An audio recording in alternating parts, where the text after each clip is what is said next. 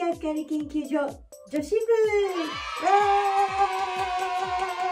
皆さんこんにちはうさですこの動画を見てくださってる方の中にはご結婚されてる方もいらっしゃると思います私は主人と結婚してどれぐらい経つかな？多分20年21年多分20年、20年以上は経ってると、よく覚えてない。今回は北海道の旅行のお話をしようかと思います。4月の28日、月曜日から北海道に行ったんですね。朝早くから飛行機に乗って、えっと、函館空港に行きました。一番したかった五島県、五島県でカレーライスを食べました。五島県って天皇陛下もお食事をされたことがある有名な歴史ある洋食店なんですけども、北海道に行ったら大体五島県でお料理をいただきます。私はチキンカレーを食べて、主人は明治洋食セットだったかななんかそんな名前の豪華なランチを食べてました。もう今でも忘れないんですけど、私初初めて五島県行った時に、いらっしゃいませって出迎えてくれたのがおじいさんだったんですよ。私もそれに感動しちゃって、普通レストランとか行ったら、大体いらっしゃいませって出てくるのは若い女性じゃないですか。男性が出てきてくれることってあんまりない。しかも、おじいさんが出てこられたんですよ。私よりも全然年上の方っていうか当然ですけども、おじいさんがうやうやしく出迎えてくださったんですよ。私もそれ涙出そうに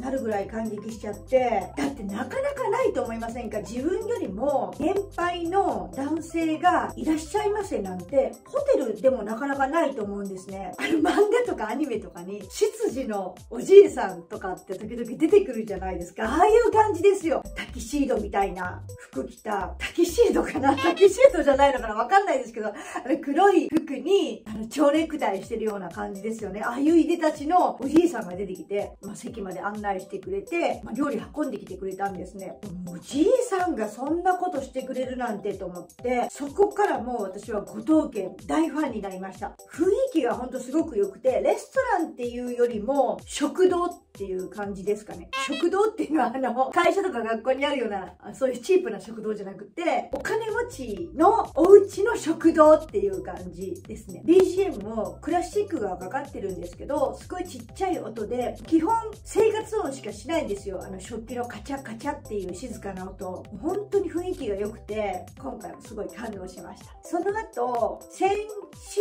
あの、総本家っていうところに行って、和菓子を買いました。ここも有名な和菓子屋さんで、どら焼きが有名なんですけど、ソフトボールみたいなどら焼きなんですね。本当にもう、ドラえもんに出てくる盛り上がりがすごいもう、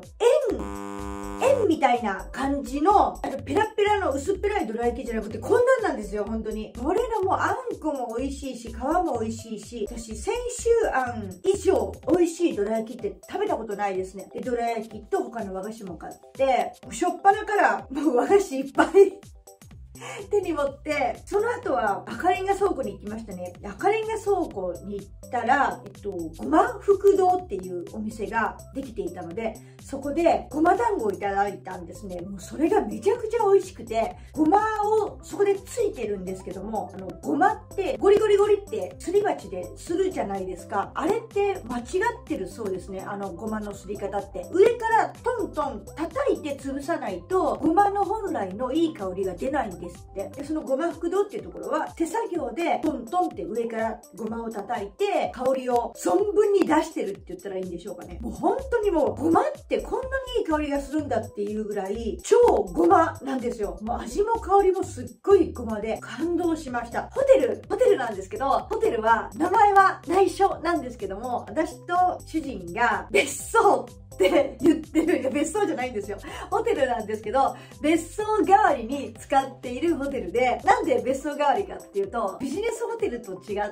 て、台所とかもあるんですよ。普通のマンションみたいな感じのホテルなんですね。食器とか、調理器具とか、冷凍庫と冷蔵庫とこう2段、家に普通のお家にあるような大きい冷蔵庫があったりとか、お掃除の道具があったりとか、何でも揃ってるんですよ。普通のお家みたいに。そこでお料理もできるようなホテルなんですね。自宅みたいに使ってくださいっていうホテルで、でそこを今回も拠点にして、で、夜はロマンティコ、ロマンティカ、通称ロマロマっていうお店なんですけど、女の子にすごい人気なレストランなんですね。なんかメニューがとにかく変わってるんですよ。その時私たちが食べたのが、アサリと岩のりのクリームパスタ。変わってるでしょ？あんまり聞かなくないですか？それと、4種のチーズと洋梨のピザ。これも変わってますよね。サラダ、サラダ何だったかな？なんかサラダも変わってたんですよ。ちょっと写真を載せときますね、ここに。タコライス。タコライスは普通なんですけど、入ってるものが変わってましたね。私はレタスで作るんですけど、そこのお店のタコライスは、キャベツと水菜とさやえんどうが入ってたと思います。4人前も頼んだんでこんなに食べれるのかなと思ったんですけど2人でペロッと食べてその後さらにパフェも2つ注文したんですね私のパフェはチーズとレモンのパフェでしたで主人が頼んだのがコーヒーのパフェこれもすごい変わってましたねだけどすごい美味しかったです。どれも不思議な味がしました。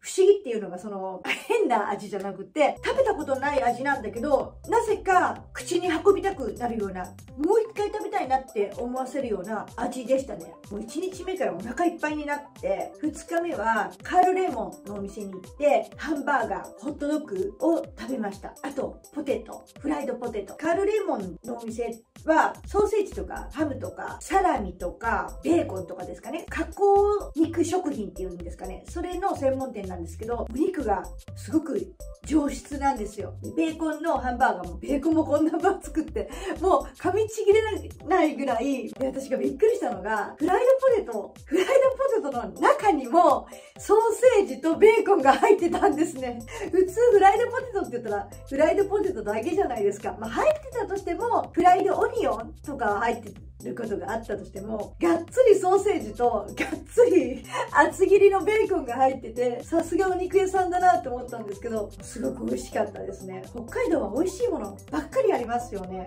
本当にもう太っちゃうっていう感じ。で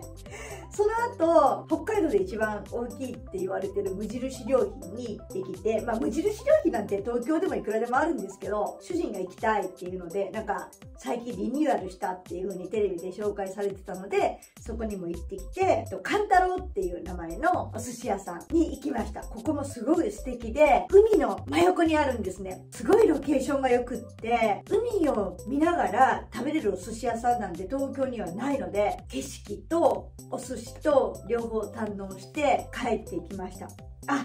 あと夜はえっと、ラッキーピエロに行ってパフェを食べたかな。ラッキーピエロっていうのは北海道にしかないハンバーガー屋さんなんですね。ちょっと独特の空気のハンバーガー屋さんなんですけどラッキーピエロっていうぐらいなのでピエロがキャラクターでサーカスをイメージしたようなお店なんですね。ちょっとこう派手派手しいっていうか奇抜な独特の空気のお店なんですよ。だけどお料理はすごく美味しくって北海道に行ったらここもよく行くんですね。でここでパフェを食べてきました。人係研究所所長のペガサスハイドです。えー、向こうはね、最近北海道旅行に行ってきたんだよね。3月の末。で、その間、俺は留守でした。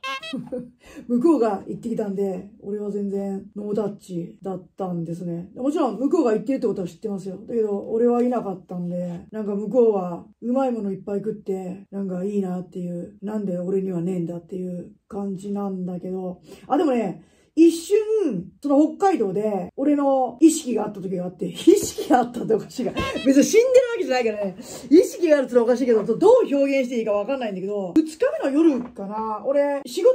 でマネージャーと話したい、まあ、休養があって、俺から用事っていうよりも、マネージャーの方から LINE で、仕事のもう連絡事項がさ、ワンサかワンサか届くんで、ちょっとこれほっといちゃまずいなっていうものが、いくつかあったから、二日目の夜中かなんかに、マネージャーに電話をさせてもらったんだよね。夜の12時ぐらいだったかな。ホテルの外に出て喋ったんだけど、そんなに寒くはなかったね。のそばだった。まあ俺は、まあもちろんホテルにいることは分かってるけども、自分の足で外に出て、あ、こんなに海近かったんだっていうのにちょっとびっくりした。海のあたりをうろうろ歩いたり、ベンチに座ったりしながら、まあマネージャーとちょっと電話した。まあそれぐらいの時は俺の感覚があったんだけど、あとはもう全然向こうが楽しく飯食ってたみたい。3日目は、ナルト屋っていうお店に行って、鶏の半身揚げを食べました。これがすごい立派で、ま、半身揚げっていうぐらいなので、鶏1匹の半分ってことになるんですけども、半身揚げって、まあ東京にもあるんですけど、なかなか美味しい半身揚げに当たらないので、でここは北海道でも有名なお店みたいなので、ここを食べてきました。で、その後、赤レンガ倉庫にまた移動したんですけど、赤レンガ倉庫好きなんですね。あの辺り安心できるっていうか、赤レンガ倉庫行く途中に主人が春の餅っていう名前のお店で、また和菓子を買い込んでましたね。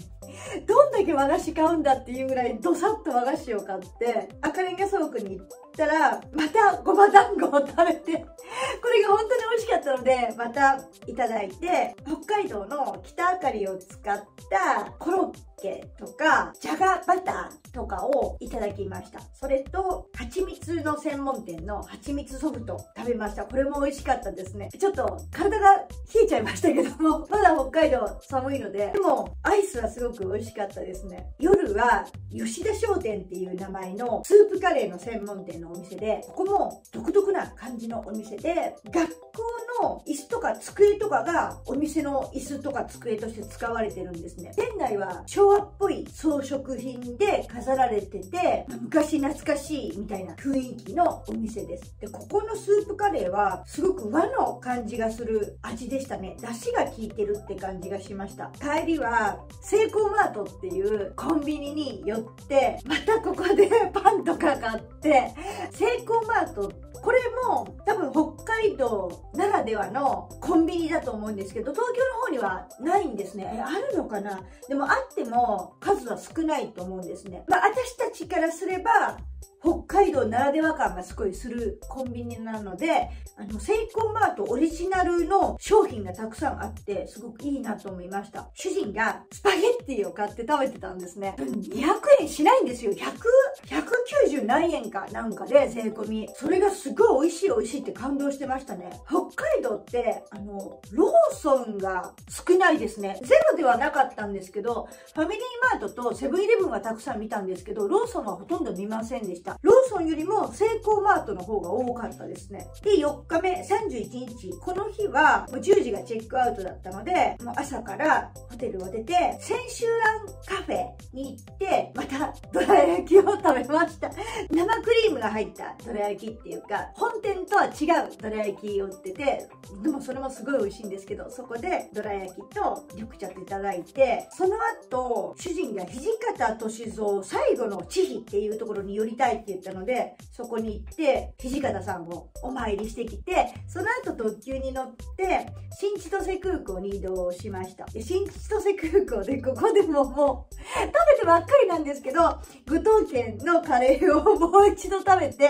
えっと、ミルキッシモっていうお店。これも、私たち夫婦があの好きなジェラート屋さんなんですけど、これ赤レンガ倉庫に今まであって、赤レンガ倉庫に行ったら毎回食べてたんですけど、赤レンガ倉庫のミルキッシモがなくなってたんですね。だけど、新千歳空港にあったので、ジェラートをいただきました。トウモロコシのジェラートが美味しかったです。トウモロコシのジェラートってどんな味と思ったんですけど、甘くて美味しかったですね。あと、カルビーのお店で揚げたてのポテトチップを食べて、ドイツチョコレートでチョコレートいっぱい買い込みました。これは私が買い込んだんですけど、なんとチョコレートだけで7500円も買い込んじゃいました。もう、チョコレートこんなに誰が食べるのっていうぐらい。だけど、あれもこれも欲しくなっちゃって。あ、ロイズの焼きたてパンのお店っていうのができてたんですね。でそのチョコミントクロワッサンがめちゃくちゃ美味しかったですね。私、チョコミントってあんまり好きじゃないんですね。普通のチョコレートは好きだけど、あのミントのスハーっとした感じが、食べ物を食べてる感じがしなくって、でもロイズのチョコミントクロワッサンは、さすがロイズですね。めちゃくちゃ美味しかったです。あんな美味しいチョコミント私食べたことないです。また食べたいですね、これは。で、その後、大貢献のラーメンを食べて、もうどんだけ食べるんだっていうぐらい食べたんですけど、コーンバター、え、バターコーン、コーンバター。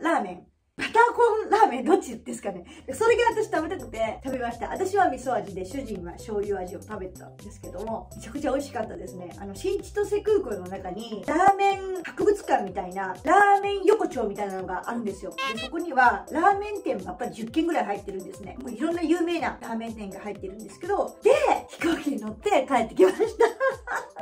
もう、東京に着いたのはもう深夜の0時回ってましたね。もうたっぷり4日間北海道を満喫して、北海道っていうよりも北海道の美味しいものですかね。美味しいものをたくさん食べて帰ってきました。なかなかご夫婦2人でゆっくり過ごすことってないので、もうこの4日間はどっちもお互い何も仕事もすることなく、ただただのんびり美味しいものだけを食べて過ごしてた。すごく楽しかったですし、あの、私も主人も年なので、こんな風に2人で旅行に行けるのって、うん、そうですね、この先10年ぐらいは大丈夫だと思うんですけど、でも20年先は多分もう無理だと思うんですね、年齢的に。まあ、いつも思うんですけど、お父さんとお母さんが仲悪かったので、自分自身が結婚なんてできると思ってなかったし、結婚っていうものに夢を持ってなかったんですね。だけど、まあ、今の優しい主人と出会って、穏やかな毎日を過ごせてるのはもう奇跡だと思っってます。動画を見てる皆さんも夫婦仲良しの穏やかな時間を過ごしてもらえたらいいなって思いました。うさでした。で、今、旅行から帰ってきて、俺もね、覚えてることはあるよ、もちろん。向こうが、どこに行って、何を食ったっていうことは、もう俺も分かってるし、まあ、それは日記にも書いてあるし、あいつが動画でも喋ってるんで、それを見れば俺もわかるから、なんか食った記憶しかないな。うまいものをいっぱい食ってたな。俺も食いたかったなっていう。その間、まあ俺は自分の活動を全然してないんだけども、帰ってきて嬉しかったのは、俺、まあオンラインサロンやってるんだけど、まあ、当然そのオンラインサロンもその旅行中っていうのは俺は、まあ、顔出すことができなかったのね。だけど、サロンの会員のメンバーが、俺が留守中の間もサロンを回してくれてたっていうか、それが帰って俺は一番嬉しかったことだな。北海道と全然関係ないことだけど、俺の感覚としてはそんな感じ。3年ぐらい前に俺も北海道行ったかな。あ、そうか。ってなると、向こうは結構北海道行ってるんで、俺もイベントとかで行ってるから、二人合わせると結構北海道行ってんだね、俺ら。二人合わせるとっておかしいけど。まあ体は一体だから。3年ぐらい前に俺北海道イベント行った時に、白い恋人ソフトクリーム、あれがすげえうまかったんで、あれがまた食いたいな。まああいつの北海道旅行に関しては、まあ俺はこんな感じ。あんま話すことがない、俺は。